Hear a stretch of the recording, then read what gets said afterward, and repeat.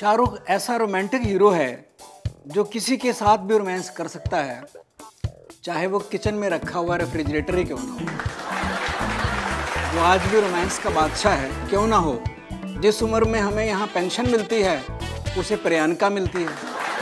शाहरुख खुद को मुसलमान कहता है, बीवी को हिंदू कहता है और बच्चों को कुछ नहीं कहता। उसने दो सफ़र किए, एक ज़ीरो से लेकर ज़ीरो तक। और दूसरा जवान से लेकर जवान तक चल रहा है।